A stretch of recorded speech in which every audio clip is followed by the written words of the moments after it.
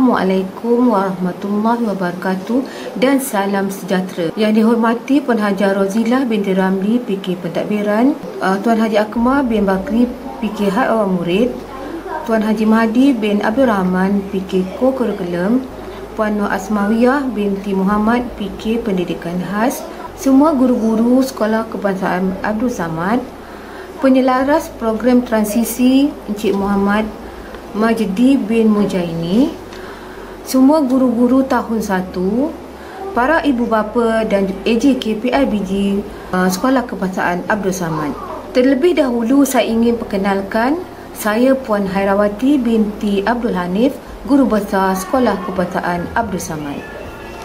Selamat datang saya ucapkan kepada semua ibu bapa dan juga murid-murid tahun 1 bagi memastikan murid bersedia menghadapi pembelajaran program transisi tahun 1 telah disediakan di mana mengambil kira kurikulum prasekolah yang terkesan dan kandungan kurikulum tahun 1. Program transisi ini mengandungi empat objektif iaitu objektif yang pertama menyesuaikan murid dengan keadaan dan persekitaran sekolah. Yang kedua, membina hubungan antara murid dengan rakan sebaya dan guru. Yang ketiga, meningkatkan keyakinan murid dan membentuk sikap positif dalam interaksi sosial serta pembelajaran. Dan yang keempat, menyediakan murid dengan pengetahuan, kemahiran dan nilai untuk pembelajaran seterusnya. Seperti mana yang sedia maklum ya, uh, pelaksanaan PBD juga tetap dilaksanakan iaitu pentaksiran. Jadi pentaksiran ini akan tetap dijalankan. Sekian daripada saya. Uh, kita berdoa supaya kita sama-sama dapat menghadapi uh, cabaran dan juga kesediaan kita uh, dan kerjasama yang erat amat penting untuk kejayaan. Pada sekian terima kasih. Assalamualaikum warahmatullahi wabarakatuh.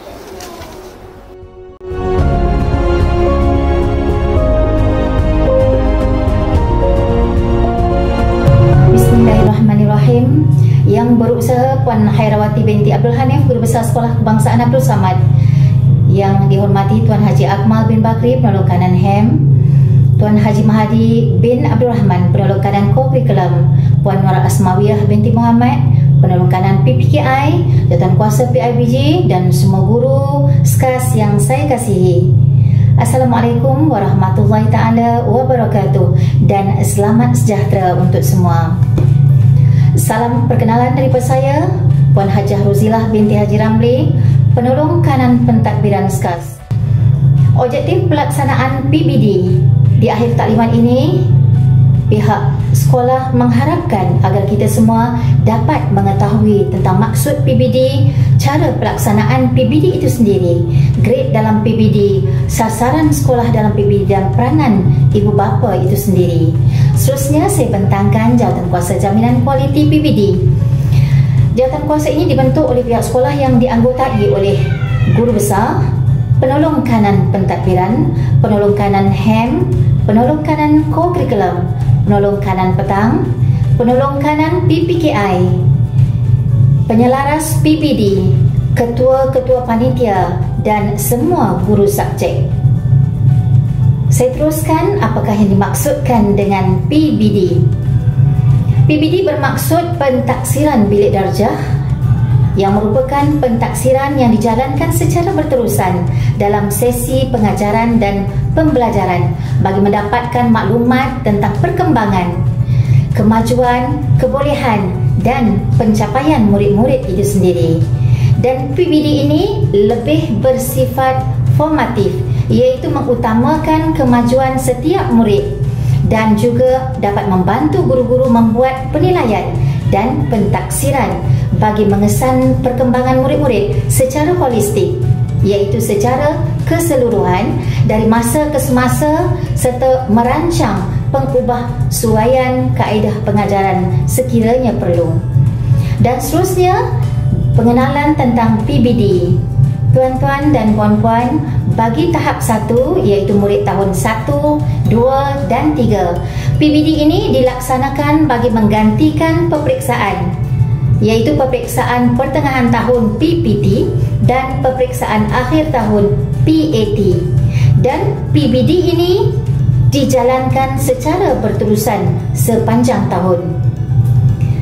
Tuan-tuan dan puan-puan, PBD ini dahulunya dikenali sebagai pentaksiran sekolah dan ia bermula pada tahun 2011 dan pada tahun 2016 pentaksiran sekolah ini dikenali pula sebagai PBD dan pada tahun 2019 PB ini telah menggantikan peperiksaan untuk tahap 1.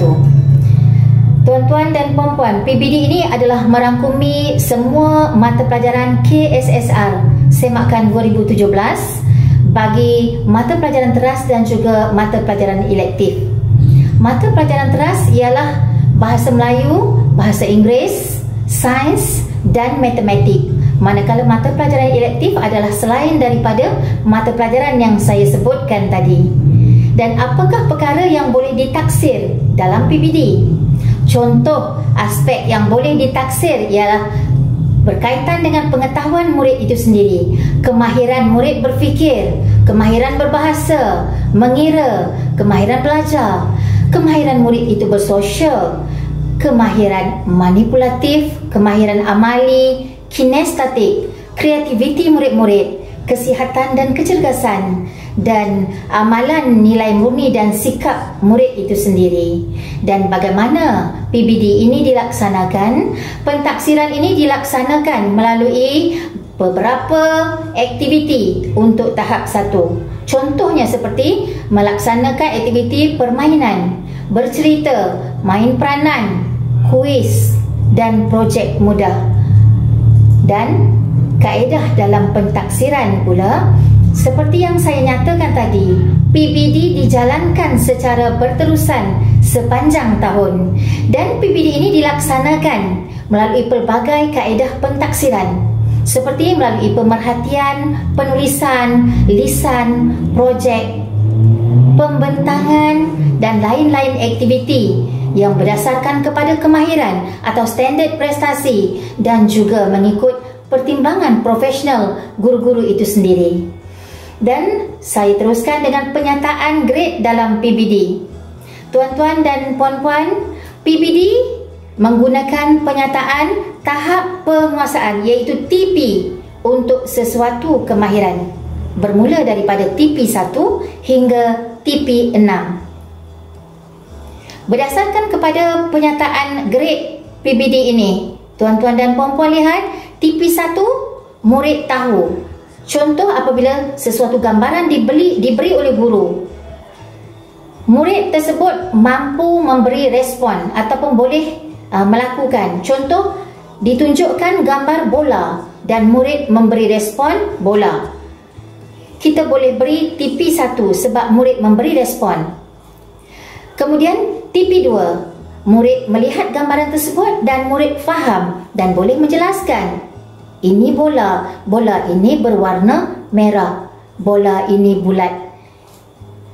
Apabila murid boleh menjelaskan sesuatu gambaran Maka boleh diberikan TP2 Seterusnya untuk TP3 iaitu menggunakan pengetahuan dan kemahiran untuk melakukan sesuatu mengikut prosedur ataupun mengikut aturan yang telah diberi. Mampu menyusun ayat-ayat dengan baik contohnya. Dan seterusnya bagi tipe 4 menggunakan pengetahuan dan kemahiran untuk melakukan sesuatu prosedur analitik dan sistematik. Apakah yang dimaksudkan dengan analitik?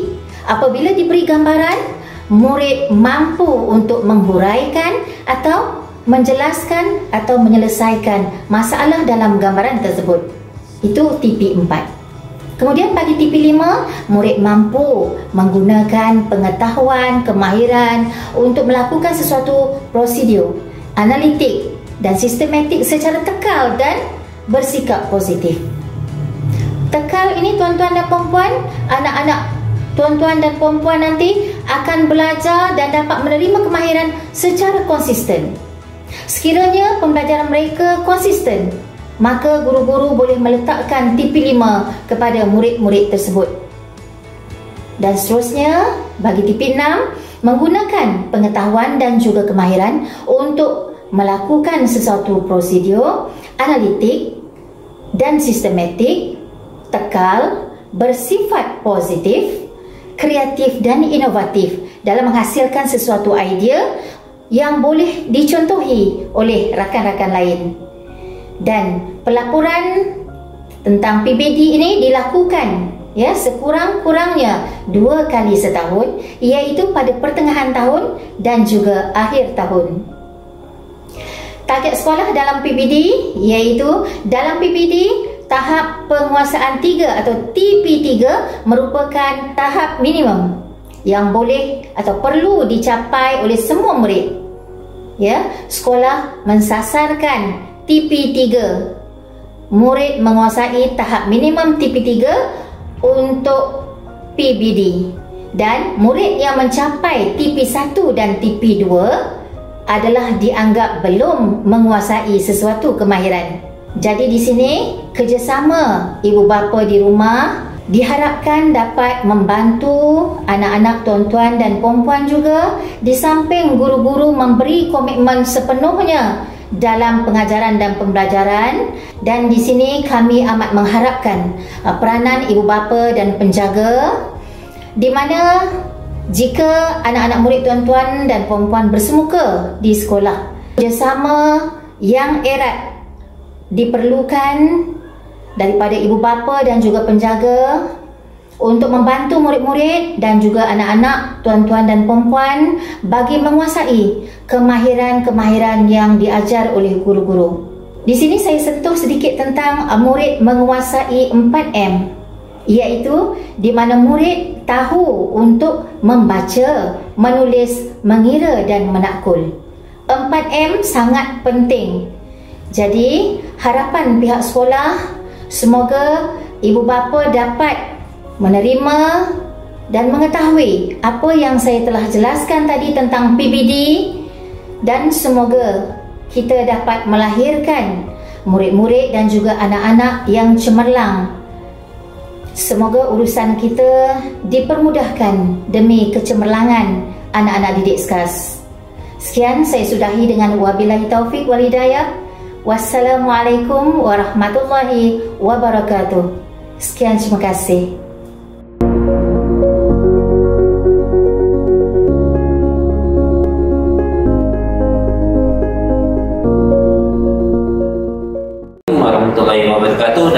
Selamat sejahtera kepada ibu bapa murid tahun satu. Uh, sebelum itu saya ingin ucapkan tahniah lah kerana anak-anak tuan-tuan dan puan-puan uh, dipilih ataupun uh, jaya untuk masuk ke SKM bersama. Saya perkenalkan saya Cikgu Akmal merupakan penolong kanan HEM Sekolah Kebangsaan Darul Samad. Jadi pada hari ini saya ingin uh, taklimatkan lah, memberi taklimat berkaitan dengan tahun satu. Jadi tuan-tuan dan puan-puan kena ambil maklum, kena ambil perhatian supaya perkara yang saya sampaikan ini tuan-puan boleh ingat dan tuan-puan boleh uh, uh, ambil peduli. Okay, ya. Uh, untuk yang pertama ni saya ingin maklumkan bahawa berkaitan dengan waktu persekolahan ya, persekolahan anak-anak, keselamatan pergi dan balik merupakan tanggungjawab ibu dan bapa ya, iaitu tuan-tuan dan puan-puan lah yang bertanggungjawab untuk memastikan ya, perginya macam mana, baliknya macam mana ya. Ha, itu semua tanggungjawab tuan-tuan dan puan-puan. Jadi oleh itu masa hantar dan ambil anak biarlah waktu yang sesuai ya. Jangan hantar terlalu awal ha, Waktu balik pula jangan Sampai Pukul 8 baru nak ambil anak ha, Itu yang bahayanya ya Jadi waktu yang sesuai Hantar mungkin uh, 10 atau 15 minit awal ya. Jadi Anak-anak uh, tidak akan ada ruang Untuk Mendapat uh, Kecelakaan ya. Jadi waktu itu sangat penting Seterusnya ialah Kaitan dengan pakaian sekolah anak-anak ya Ha, ini lelaki ya, baju kemeja dengan pendek. Ha, ini selalu saya pesan sebenarnya ya. Hujung tahunnya saya pesan pada murid-murid. Tolong beli baju lengan pendek bukan lengan panjang. Ya, untuk lelaki lengan pendek. Lengan panjang ini adalah untuk murid yang berjawatan di sekolah. Contohnya seperti pengawas, pengurusan sumber, ya, atau ada jawatan-jawatan lain seperti uh, pembimbing rakan sebaya dan sebagainya. Itu dan dia mungkin. Tapi untuk di sekolah kita semua murid lengan pendek ya. Uh, termasuklah pengawal uh, ketua ya. ketua ataupun penolong dengan pendek sama. Kecuali yang jawatan lain. Ya jadi pastikan ibu bapa hanya membeli lengan pendek kerana itu memang menjadi peraturan ya dalam KPM ya. KPM telah menetapkan peraturan murid uh, sekolah adalah berbaju putih lengan pendek dan bertali leher serta ber, uh, berseluar panjang warna biru tua. Ha, ini semua tahulah sudah maklum. Tali leher ini kita sudah mula tahun lepas lagi ya. Uh, boleh terus beli kepada guru guru kelas untuk pembelian tali leher. Bagi perempuan pula pakai baju gunung putih dan kain sarung warna biru gelap. Ya, baju gunung putih, kain sarung warna biru gelap. Murid Islam digalakkan bertudung bentuk segitiga murid bukan Islam baju uniform bertali leher tapi digalakkan juga memakai baju grup kalau nak pakailah ini jadi paksaan. Ha, itu pakaian. Okay, kasut dan stoking. Ha, untuk tahun ini masih lagi sama macam tahun lepas. Ya, kalau nak pakai kasut hitam stokingnya mesti hitam.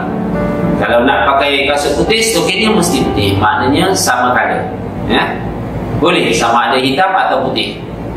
Yang tak bolehnya kasut hitam stokin putih dia belang jadi tak tak boleh.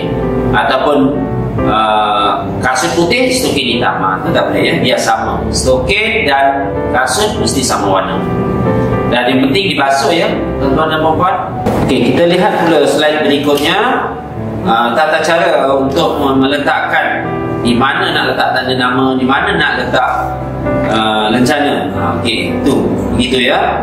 Lencana atas sekali bawah lencana letakkan tanda nama. Ya? Poket biarkan kosong. Ya? Macam saya ni lah ya ha, ini poket kosong. Letak tanda tanda nama. Atas poket letak tanda nama. Atas tanda nama letak uh, lencana. Ha, begitu kedudukannya di mana bahagian kiri? Sebelah kiri ya bukan sebelah kanan perempuan pun sama sebelah kiri ya bahagian kiri duduk bahagian kiri baju kurung bahagian kiri baju pinafore ya yang bukan Islam pun sebelah kiri juga. Begitu kedudukan kalau yang perempuan tak ada poket lah ya letak je lah. Tanda nama dan juga rencana. Okey, itu secara gambarnya. Begitulah slide slide seterusnya begitu kedudukannya. Okey. Okey, seterusnya saya masuk kepada kehadiran dan disiplin. Uh, pertama, direkod dalam sistem APDM. Ibu bapa boleh semak ya dalam talian KPM. Tekan je type je sepat KPM uh, melalui pautan public.mui.gov.my. Uh, nanti ibu bapa boleh uh, lihat ya kehadiran anak-anak sehadir di sekolah ya. Sekolah juga uh, ada menetapkan KPI ya untuk kehadiran ini. Jadi saya ambil kesempatan ini uh, untuk mengingatkan ibu bapa agar memastikan anak-anak terus hadir ke sekolah ya. Kecuali kalau anak-anak ini memang uh, sakit dan sebagainya. Kalau sakit maklumkan dulu ya. WhatsApp atau bagi surat ya, perlu maklumkan dulu supaya anak ini tidak dikira ponting ya. Kerana dalam ponting ini dia ada tindakannya. Ada uh, undang-undangnya. Jadi untuk mengelakkan dikenakan tindakan ibu apa mesti mesti menghubungi uh, guru-guru kelas. Memaklumkan kenapa anaknya tidak hadir. Okay, segala kesalahan disiplin dan amalan baik direkod dalam sistem. Ya, TPM sudah uh, melaporkan wang yang banyak untuk membina sistem dan merekod segala salah laku dan, ataupun amalan baik. Jadi uh, semuanya direkod. Jadi mau tidak mau dunia semakin canggih pada hari ini uh, kita guna pakai sistem itu. Okey, ini yang saya jelaskan tadi iaitu jika kehadiran anak ini tidak dimak ketidakhadiran anak ini tidak dimaklumkan kepada guru maka tindakan boleh diambil. Ya saya bacakan di sini. Amalan pertama. Ya jika murid tidak hadir berturut-turut iaitu pada hari ketiga amalan pertama sudah boleh dikeluarkan kepada ibu bapa. Ya surat amalannya jika tidak hadir bukan berturut-turut pada hari ke-10 tidak berturut-turut ini maksudnya hari ini dia datang besok tak datang besoknya datang lagi. Besoknya tak datang. Dia berserang sendiri. Ya ataupun datang datang. Lepas tak datang tak datang datang. Macam tu. Jadi 10 kali 10 hari dia tidak hadir tanpa maklumkan kepada guru maka pihak sekolah boleh mengeluarkan surat amaran pertama kepada ibu bapa. Ya selepas uh, hari untuk yang uh, tidak hadir berturut-turut tambah lagi tujuh hari tambah lagi sorry. Tambah lagi empat hari maknanya hari yang ketujuh amalan kedua. Ya? Lepas tu tambah lagi 14 hari. Tak ada juga tanpa maklumkan amalan ketiga ya? Dan akhirnya cukup 31 hari murid ini akan dibawa sekolah. 31 hari tidak memaklumkan kepada guru kelas kenaan ketidakhadiran murid ini akan dibawa sekolah ya. Ha, begitu juga dengan uh, hari tidak hadir bukan berturut-turut ini yang selang-selang tadi ya. Ha, itu dia punya jumlah harinya. Amaran pertama 10, uh, 10 hari. Amaran kedua hari yang 10, Selepas 10 hari maknanya 20 hari. Amaran ketiga 20 hari selepas amaran kedua Dan buang sekolah 20 hari selepas amaran ketiga Jumlahnya 60 hari ya, 60 hari buang sekolah Jadi untuk elakkan perkara ini uh, Pastikanlah ya Jika anak tidak ada maklumkan dulu ha, Pemakluman itu sangat penting Supaya anak ini tidak dianggap penting Okey, seterusnya rambut. Kaitan dengan rambut, nah ini gambar eh. Kita tengok gambar ni. Gambar ni bukan murid sekolah lain, ini murid sekolah kita ni. Eh. Kalau tak salah saya 2-3 tahun lepas lah. Eh. Jadi janganlah ya, berfashion yang keterlaluan. Ha, ini dah keterlaluan lah. Eh. Tepinya habis tak ada semua. Ya. Saya tinggalkan tengahnya. Jadi ibu apa ha, Janganlah ajar anak dengan perkara-perkara yang sedemikian ya. Okey, bagi murid perempuan dikemat, diikat kemas ya, jika panjang ya, tidak berserabai. Ya, terutamanya murid-murid uh, yang tidak memakai tudung ya, perlulah ikat dengan kemas. Okey, seterusnya. Okey. Seterusnya borang maklumat murid. Borang maklumat murid ini sebenarnya kita akan bekalkan kepada ibu bapa yang tiada akses internet ya. Mungkin dia tak ada gadget ataupun dia ada internet jadi kelas akan bekalkanlah orang maklumat ujian ya, untuk diisi dan dikemas kini ya.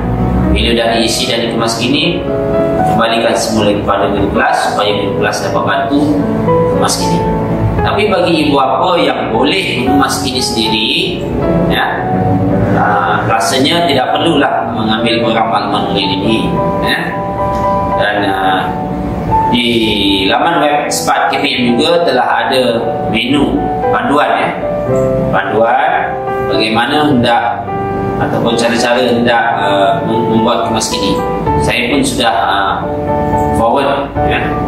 Panduan tersebut dalam bulan WhatsApp guru tahun satu ya. Jadi cikgu-cikgu kelas tahun satu sebenarnya uh, ada uh, panduan ataupun manual pengguna kepada ibu bapa bagaimana cara-cara hendak membuat pengemas kinian ya, dalam uh, EPDM tersebut. Okay. Kalau ibu bapa menghadapi masalah uh, boleh berhubung dengan guru kelas. Ya, sebenarnya tiada tarikh khusus untuk ibu bapa membuat pengemas kinian. Tapi itu sangat penting, kemas kini itu sangat penting kerana data itulah data yang dipegang oleh pihak sekolah dan data yang akan digunakan apabila diperlukan. Apabila diperlukan itu bila? Ya, apabila ada uh, bantuan-bantuan yang perlu kita uh, beri kepada ibu apa lah yang berkelayakan. Kita tengok data itu. Jadi ibu apa pun teluslah ya memasukkan data pendapatan tersebut. Okey, peringatan pada murid tahun satu perlu ibu bapa mempunyai telefon guru kelas ya. Selalu berpesan tidak ikut orang lain ya, pesan kepada anak-anak. Jangan ikut orang lain terutamanya waktu balik ya.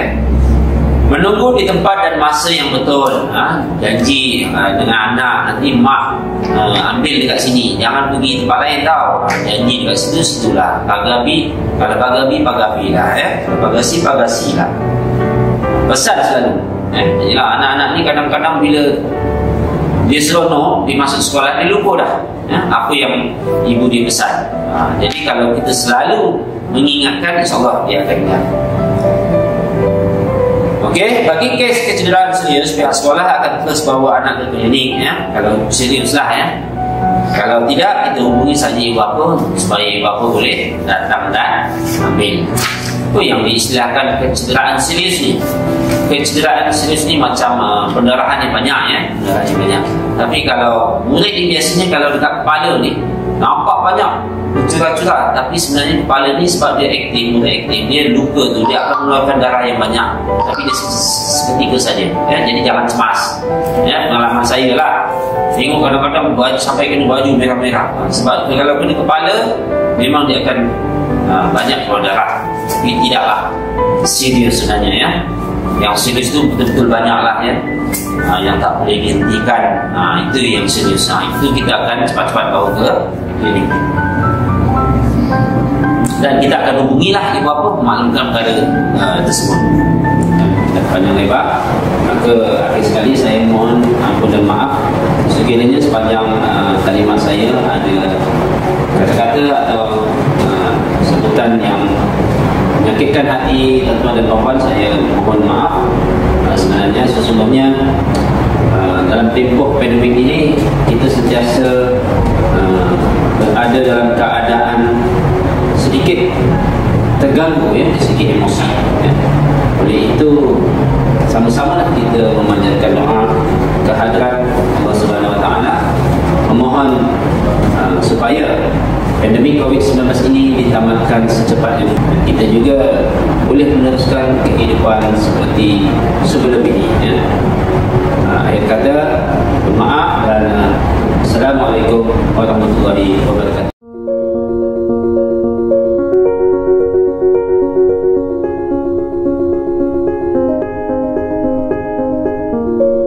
Assalamualaikum warahmatullahi wabarakatuh dan salam sejahtera. Saya Muhammad Izani bin Ahmad, PK Petang SJ Abdul Samad. Untuk kalimat orientasi murid tahun 1 2022-2023, saya akan menerangkan tiga perkara penting iaitu waktu masuk dan balik, plan pintu masuk dan keluar, dan waktu pintu beroperasi. Waktu masuk dan balik murid. Untuk hari Isnin, murid petang akan masuk pada pukul 1 tengah hari dan balik pada pukul 6.20 petang.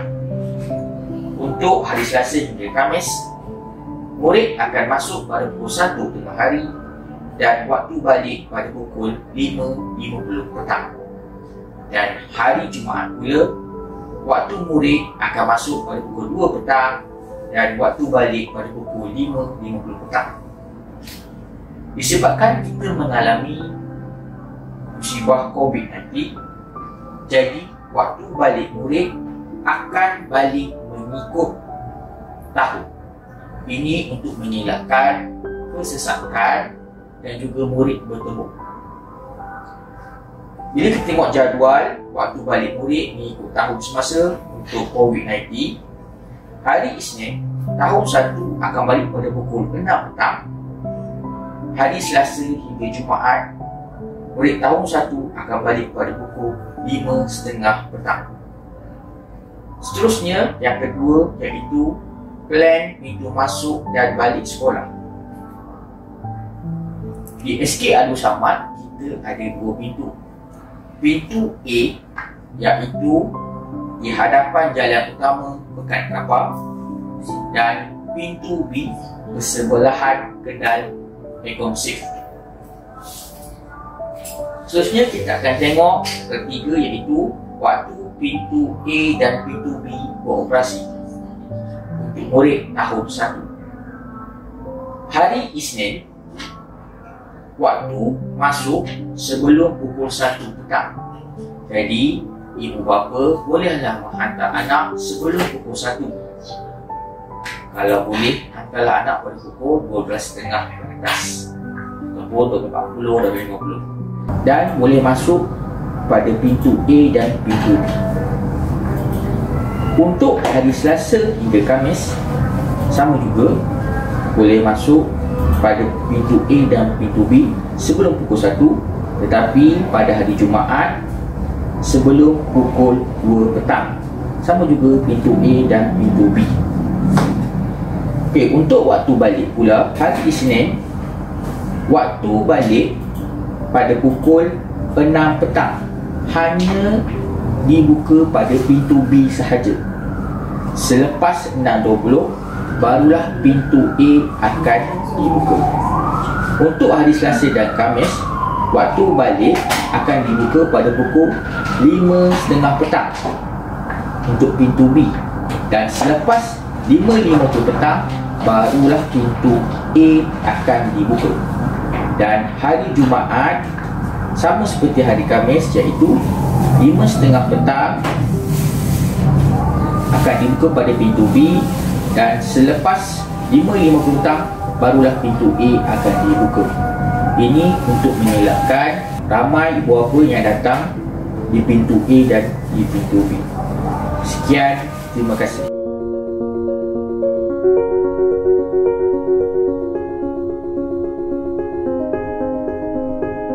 Selamat datang diucapkan kepada ibu bapa dan penjaga ke Sekolah Kebangsaan Abdul Samad Terima kasih memilih SK Abdul Samad sebagai destinasi pembelajaran anak tuan-tuan dan puan-puan. Kami selaku warga SK Abdul Samad mengalu-alukan kedatangan anak tuan dan puan. Minggu transisi. Kenapa perlu minggu transisi? Yang pertama, pengenalan awal bagi murid-murid baru sebelum pembelajaran secara formal. Yang kedua, pengenalan persekitaran dan kawasan sekolah seperti kelas, tandas dan kantin. Yang ketiga, membiasakan diri bagi murid baru suasana persekolahan. Apa itu transisi? Okey, minggu transisi dijalankan selama 3 minggu. Bermula daripada 21 hari bulan 3 tahun 2022 hingga 8 bulan 4 tahun 2022. Buku transisi telah disediakan oleh pihak sekolah masa semasa waktu persekolahan. Minggu maksudnya minggu transisi ini dijalankan semasa waktu persekolahan. Buku transisi, buku transisi seperti contoh gambar ini. Ha, inilah buku transisi yang dibekalkan pihak sekolah kepada anak-anak tuan-tuan dan puan-puan. Apa yang perlu ibu bapa sediakan? Yang perlu dibawa oleh murid Yang pertama beg. Yang kedua Alatan menulis dan pensel warna. Yang ketiga Makanan dan minuman sendiri Atau tempahan Atau duit belanja. Tidak perlu dibawa semasa minggu transisi. Yang pertama Buku teks. Yang kedua Buku tulis. Yang ketiga buku aktiviti itu sahaja. Penyediaan name tag oleh ibu bapa. Ibu bapa perlu menyediakan name tag semasa hari pertama persekolahan seperti yang tertera dalam gambar sebelah.